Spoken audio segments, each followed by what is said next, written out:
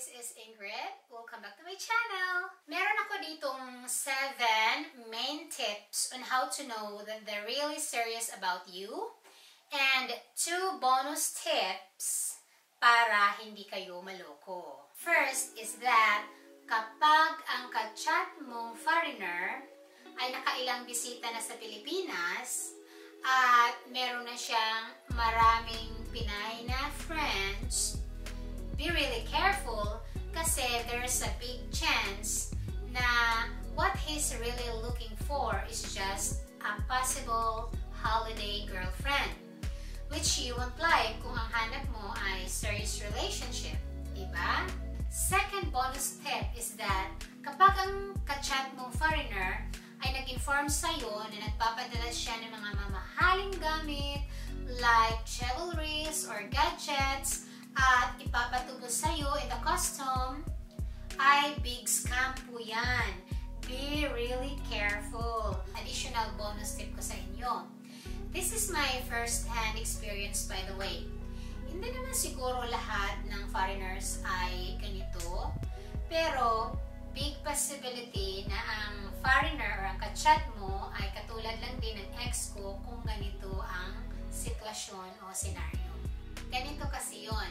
Nagkakilala kami nung ex ko end of October 2011. And then after two days, sabi niya sa akin, I will visit you the next month to propose you. O diba? Agad-agad, not even knowing what kind of person I am. So, at the third week of December, binisita nga niya ako at nag-propose na siya. Yun pala, napagalaman ko ay parang siningit lang niya ako sa schedule kasi may napag-promisa na pala siyang iba na ibibisita rin niya. So, advice ko sa inyo, lalo na pag mga ganyang setup or scenario, I never give in in your first meet together. Mind you, 7 days kaming magkasama noon. At halos araw-araw, gabi-gabi, he's begging me love with him. At palagi kong sinasabi ay sorry, I would only give my virginity as a gift to my husband. At ang sabi pa nga niya, you don't have to worry. You're gonna be my wife and I'm gonna be your husband. So see, kung naniniwala ako sa kanya, mga sis, kapag ganyang setup, eh wag agad-agad isuko ang bandila. And also, ang totoong foreigner na sincere sa'yo ay hindi i-ask sa'yo ang mga ganyang bagay. Maybe this doesn't apply to all, but ito kasing naasawa ko, si Eric,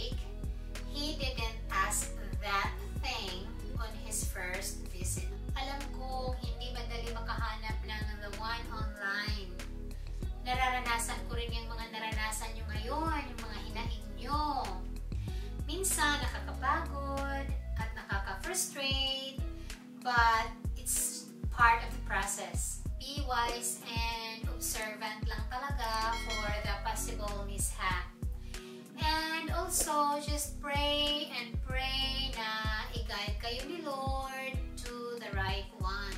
That's all guys! Sana makakatulong sa inyo itong video na ito.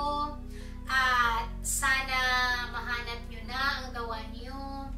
But don't worry, hindi lang kayo susuko ay ibibigay talaga kaya ni Lord in His perfect time. Good luck guys! Kung may mga tanong kayo ay huwag kayong mahiya. Just write it down in the comment box below at sasagutin natin ang mga yan.